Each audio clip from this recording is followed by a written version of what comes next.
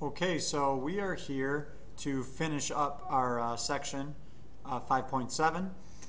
This is going to be part three. This is all by itself. So the last thing we're going to talk about here is Descartes' rule of signs. So what this uh, rule does is it allows us to figure out how many positive real solutions we're going to get or real zeros, how many negative real zeros, and even it could help us to figure out if we're going to have any imaginary zeros. So in a nutshell, what this is saying is the number of positive real zeros of f is equal to the number of changes in signs of the coefficients of f of x, or is less than this by an even number. So let's just get right into this example so that way I can kind of show you what this means. So if you look at this example right here, we have a function that is to the sixth power. What we're going to do is we're going to look to see how many sign changes there are. So this starts off with a positive 1, then it goes to a negative. So that's one sign change. Then we go from a positive 2 to a, uh, sorry, negative 2 to a positive 3. So that's our second sign change. And then we go from a positive to a negative. That's our third sign change. And then it stays negative the rest of the way. So there's no other sign changes. That's what you see down here with these arrows. So what that means is, is that that means that we could have either three positive zeros Sorry, I know that's really sloppy, you can't see it. Or what we can say is not only could it be three, but it could be a less number by an even number. In other words, it goes down by twos. So if there's three possible positive uh, zeros, then that means there also could be one positive zero. Okay, so that's only the positives. Talking about the negatives, the negative would be if we take all of our x values that we have and we input a negative x instead. So if you see down here, what we're going to do is instead of it being a positive x, we're going to do negative x. And notice how they have it in parentheses. So we're going to put all of our x's as negatives in the parentheses. Now, if you remember exponents, if you have an even exponent, it will make it positive. Okay? If you have a neg or if you have an odd exponent, it will keep it as a negative. So watch what happens. This is an equal sign right here. So because the x value, or sorry, because the uh, exponent is positive, or I'm sorry, is even, that means it stays positive. Because the exponent is odd, it stays negative. So you can kind of see what happens. So this becomes a positive x to the 6, stays the same. This stays as a negative, so the negative here and the negative here cancel out to be a positive. Again, it becomes positive because it's an even exponent, so that stays positive. This negative will stay negative, so the two negatives will cancel out, and then we have our negatives at the end. Again, we're, you can follow along and see what happens. So what you'll do is you'll take that negative x and put it throughout your entire thing, and you'll do the same thing. Look at the sign changes. Positive, positive, positive, positive, no change, and then it goes from positive to negative, so that's 1. Then it goes from negative to positive, that's 2. Then it goes from positive to negative. That's 3. So therefore, we would have 3 negative zeros, or we could have 3, or sorry, we could have 1 negative 0. And then all we're doing below is putting it into a chart. So this is what our possibilities are. We know that we know that our total zeros is going to be 6 all the way down. So we either have a possibility of doing 3 positive, 3 negative equals 6. We could do 3 positive, 1 negative, which means we would have 2 left over imaginary is 6. And we could have 1 positive, 3 negative, still 2 left over. Or we could have 1 and 1 and 4 imaginaries. But it always has to equal the 6. So all this is a way for you to look through a problem and you'll know exactly what types of zeros you're going to get right away.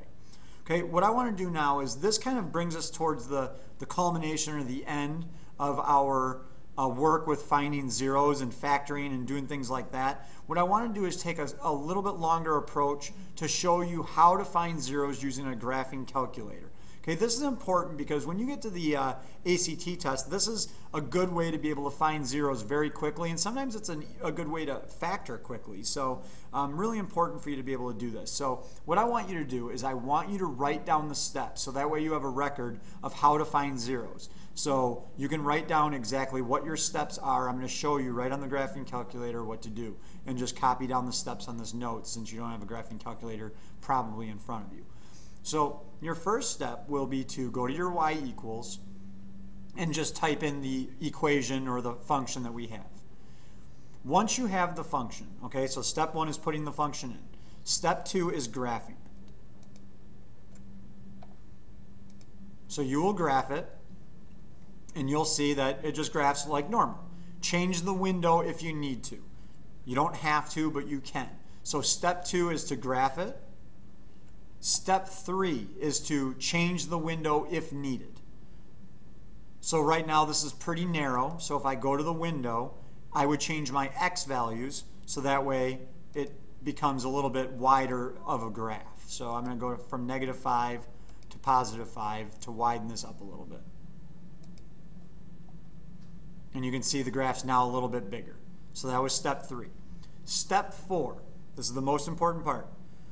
We are not tracing. I do, you never want to guess what your zero is. What you want to do is you want to go to second and calc. Okay, so you see that little calc right there, or second trace. And there's the second option on there is zero. That's going to help us find a zero. So you either hit the number two or just click enter once you scroll down to it. And you're going to come up to something that looks like this. It's going to ask you for a left bound. What that means is, if let's just pretend we're going to go all the way to the last zero over here. Remember, zeros are our x-intercepts. Let's pretend that this zero over here is negative 1. I know it's not negative 1, but let's pretend that it is. What the left bound means is if we think that it's at negative 1, we need to make sure that when we hit enter on our left bound that it's further to the left from negative 1. So it's got to be smaller than negative 1. For example, negative 1.2. So in other words, in this way, it's going to be end up being below our axis because those are all of our x values that are to the left of the zero that we're looking for. So you can hit enter on any of those that are to the left. I hit enter, then it asks for a right bound. The same thing is true. We are looking for a value that's to the right of where the zero is. So if we think that it's around 1, then it would have to be to the, or sorry, negative 1, then it would have to be to the right of where negative 1 is, which means it has to be getting closer and closer to 0. So, okay, this looks, and again, you're going to notice that one of your enters will be below and one of them will be above, but it won't always the left bound will not always be below and the right bound won't always be above. It depends on what the graph looks like. So I have my right bound, and then the guess it means you have to hit it a third time. Do not forget to hit it a third time. Okay, so this step to recap. Once you go to second calc, your left bound you will hit enter, your right bound you will, you'll hit enter, and then your guess you will hit enter, and it will tell you what your zero is. So our zero here is negative 1.233948. And then if we wanted to find the next zero, we would do the same thing. I'll do one more. Second, calc, go down to zero,